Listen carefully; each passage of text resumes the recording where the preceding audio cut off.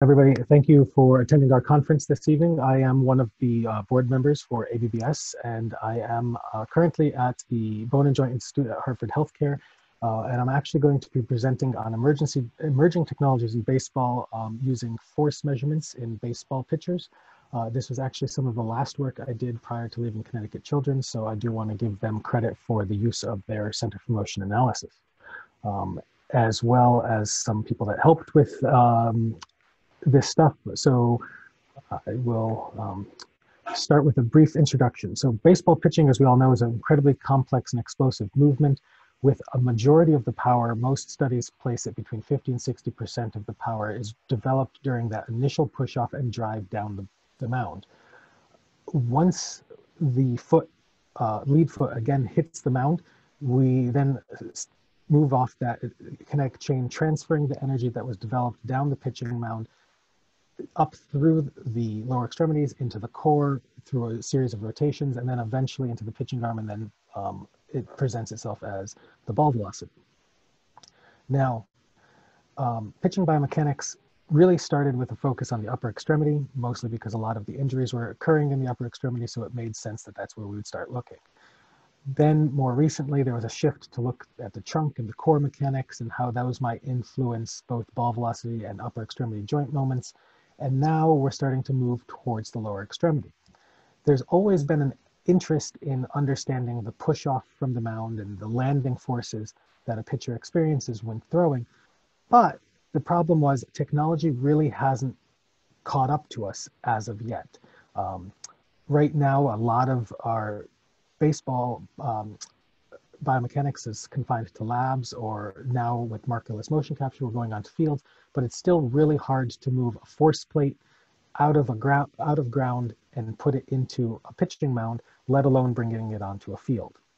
Um, one of the earliest uh, measures of force in pitching was done by Elliott et al. in 1988. He was able to create an instrumented pitching rubber so that he could understand push-off power and in that push off power, he saw that there was some relationship between um, push off power and ball velocity.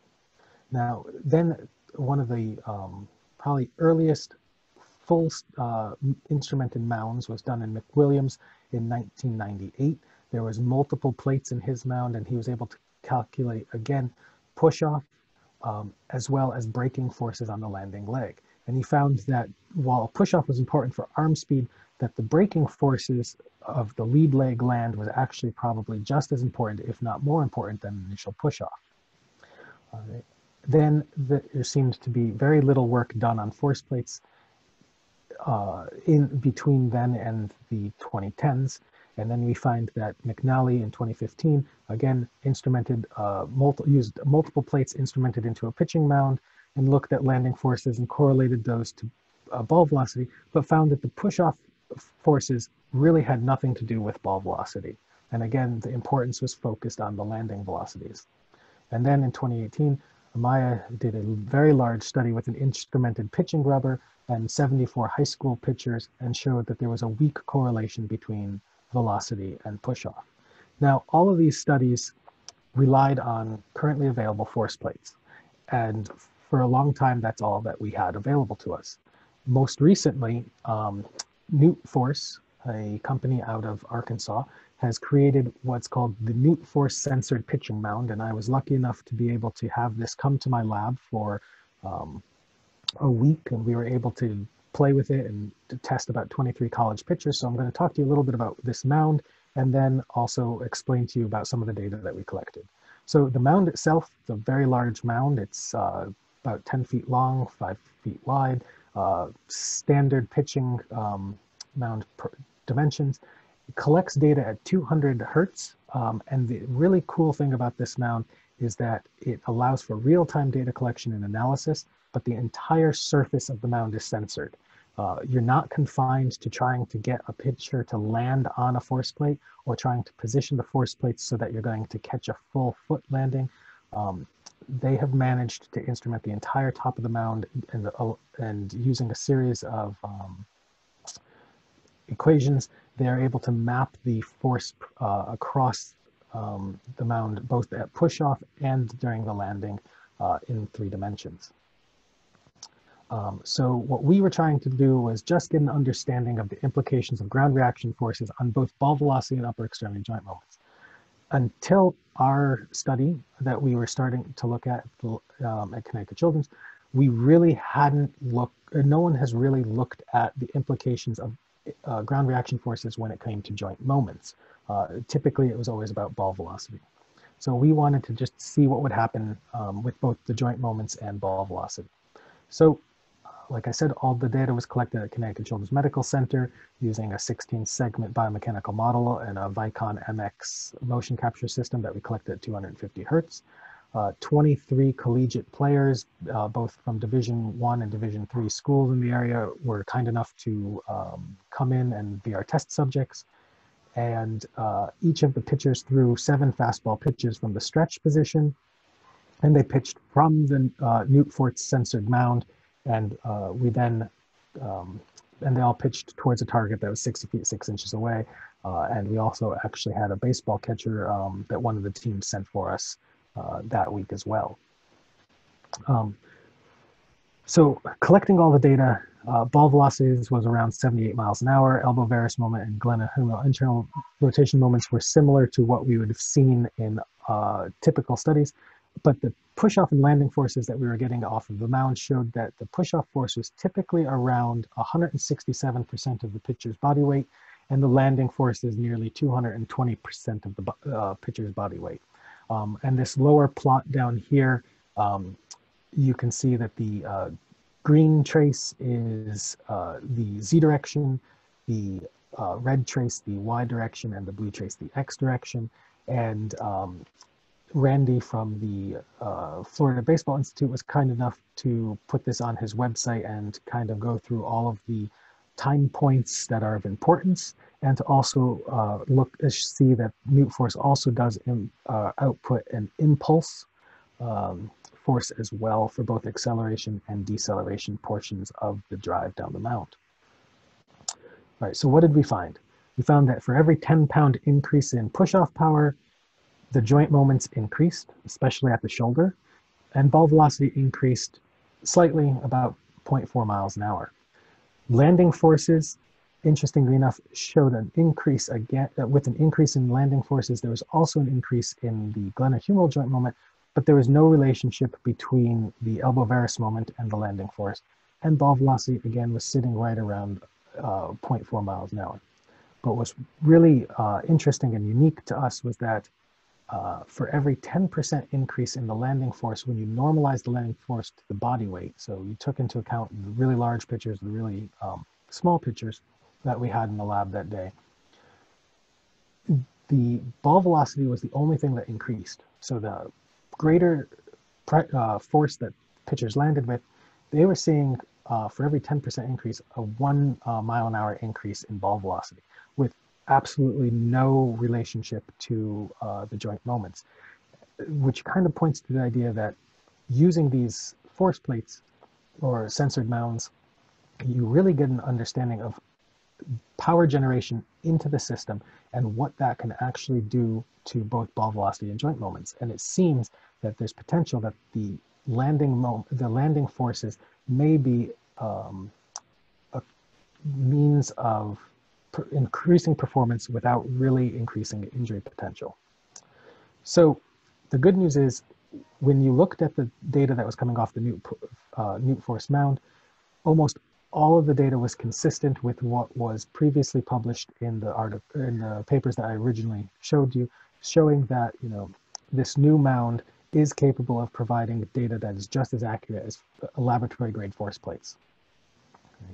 Um, new data indicates that the new data that we collected showed that ground reaction forces are actually associated with upper extremity joint moments in some cases, and our findings are consistent with what we've um, done in, uh, with previous literature where push-off forces really, um, they help generate um, power, they help propel the pitcher down the mound, but the correlation between ball velocity and uh, the push-off power is not as strong as we actually expected it to be. Um, and we've also found that, you know, uh, you, you, do require a decent amount of gluteal activation when you're pushing off. And um, if you push off too hard, you might actually inhibit the transfer of energy through the core, making it more difficult for you to pitch. Landing forces, um, as shown by other um, by the other papers as well, does seem to have a greater effect on both on performance in the uh, in ball velocity. And what's really important is that the instant of that lead foot contact really serves as a transition point in the um, pitch cycle. You're looking at the idea that the pitcher is really transferring a lot of that linear momentum that they have generated as they fall down the mound. Uh, they hit their foot, and then that really begins the rotational segment of the pitch where they're transferring transferring that energy and making it um, usable in uh, as they rotate to get the generate their ball velocity. So the new directions of um, baseball biomechanics is really trying to use these new and emerging technologies to get us a better understanding of what's going on. And ground reaction forces play an extremely important role in pitching, especially understanding both velocity generation as well as the development of stresses in, in the body. But, and it makes sense when you think about it that, you know, the foundation of the pitch is really uh, how you hit the mound, how you push off and fall. And until recently, we didn't have that ability um, with, you know, instrumented uh, pitching mounds or sensored pitching mounds, there's now the ability to gain data. So the next phases of the pitch are going to be um, pitching biomechanics and studies that will be able to be performed using these new technologies are really bringing us into a new phase of understanding and it's going to be very exciting to see what happens. Um, so in the interest of time, I think I'm going to call this the end of my talk. So uh, thank you again for joining us tonight, and uh, I look. I hope you enjoy the remainder of the conference. Right. Thank you, Dr. Solomito. Um, before you go, I think we might have a few questions, if you're okay with that. Sure. All right. So um, first one, uh, we'll start. There's just a few. Did you also look at stride lengths related to ground reaction forces? Uh, so this was very preliminary data. We have started looking at stride length, um, to, but we have yet to correlate it. The first passes were going to be to just kind of look at upper extremity joint moments and ball velocities um, so that we could get an understanding of the accuracy of the mound compared to previously published literature. Um, but yes, there's many, many plans on what to do with this data going forward, um, and that is one of them. So stay tuned. Awesome. Uh, next question. So this may be a question not easily and simply answered, but if a 10% increase in landing force correlates to a one mile per hour increase in ball velocity with no increase in elbow or shoulder joint moments, how does an athlete go about increasing their landing force? And that's uh, a million dollar question right there. Um, a lot of this is more than likely going to have to do with the positioning of the knee in the lower extremity, as well as the ability to push off. Um, but we do need to understand uh, this information um, more, also understand uh, lower extremity muscle activations. Um, there's going to be a lot that goes into that, but uh, it does seem that the idea of driving down the mound and landing with some kind of force versus just stepping down the mound or falling down the mound may be able to be of some benefit to pitchers. Awesome. And we'll do one more just for the sake of time. Um, it says, did you also examine the relationship of horizontal and vertical impulses and joint kinetics? So we do have the ability to break down um, the ground reaction forces in XYZ components. Uh, the push-off and landing forces that I presented here uh, briefly um, were just the uh, combined vectors. Uh, but yes, we can do that and um, run any type of statistical analysis that we would need to do. Um, again, we were able to do this on 23 college pitchers, so this is uh, good preliminary data, and hopefully there will be a lot more to come with larger studies using this mound. Awesome. Thank you, uh, thank you for your time and for your great presentation.